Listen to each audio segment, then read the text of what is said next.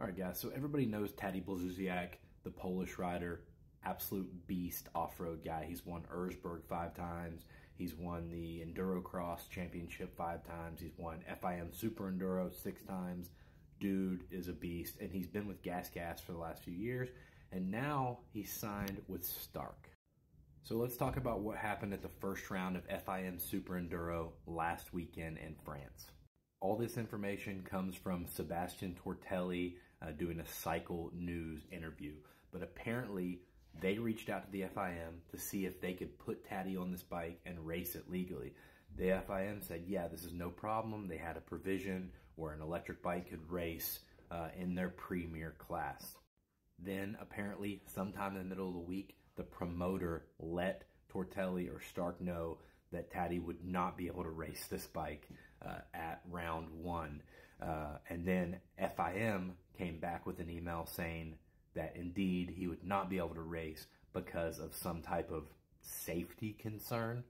Tortelli then goes on to say that they tried to address those concerns and even offered to have their own fire marshal uh, at the event, uh, you know, for safety's sake, just to handle it. Uh, and the FIM and promoter said no.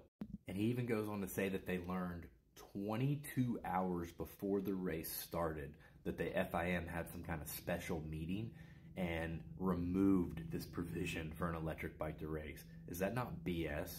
I think it's pretty obvious here that one of the OEMs put some major pressure on the FIM. I'm not going to mention any names, but it's clearly just a bunch of BS because we know, uh, if anything, these are safer than combustion bikes. There's literally no combustible fuel in them. There's no, uh, you know, no fuel lines and no no uh, active spark or anything like that that's happening.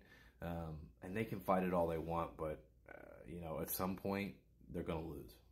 And I look forward to seeing some of the stuff that Taddy can do on this thing. You know, I've rode this thing. I know it's awesome.